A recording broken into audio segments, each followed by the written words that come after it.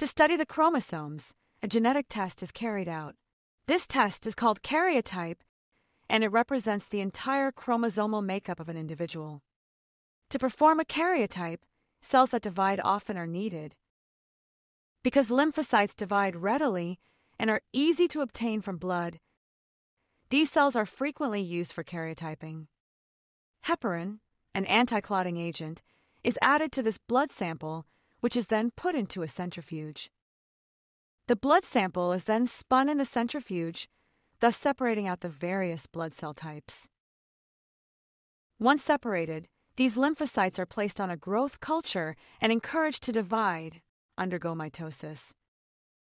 Because dividing cells show off their chromosomes best at the mid stage of cell division, called metaphase, a drug, named as colchicine, is added to the dividing cells to halt mitosis. These lymphocytes, with their cell division halted, are taken from the culture and treated with a hypotonic solution that causes them to swell. This swelling untangles the metaphase chromosomes, pushing them apart.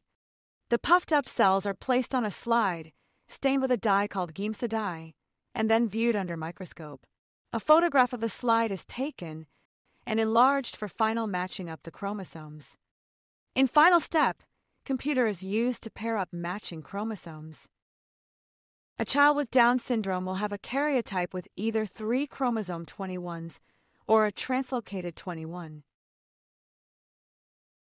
If the child has mosaic Down syndrome, some cells will have a normal 46 chromosomes, while other will have 47 with three 21s.